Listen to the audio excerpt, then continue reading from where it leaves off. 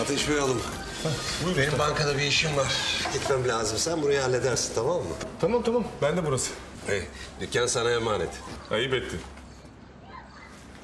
Merhabalar. Ayşen kızım, hoş geldin. Hayırdır?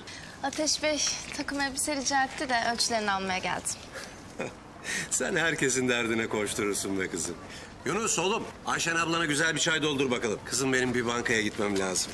Ateşin işte bitmek üzere. Sen geç biraz dinlen. Kolay gelsin.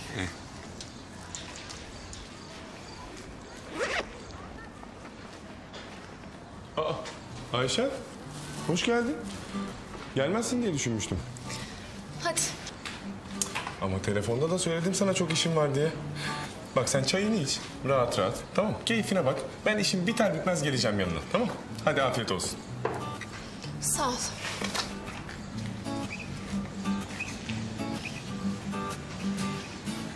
İşimiz düştü ya. Hemen süründü.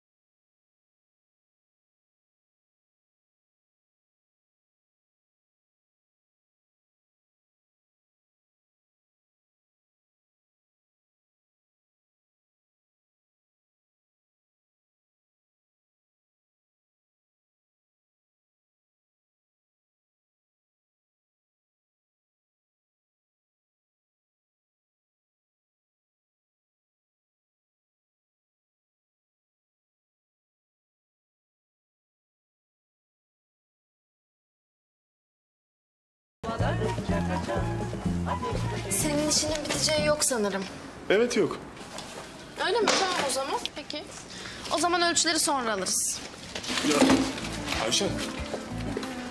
Biraz uzun sürdü işim ama Tamam tamam sıkıntı yok. Sıkıntı yok. Kolay gelsin.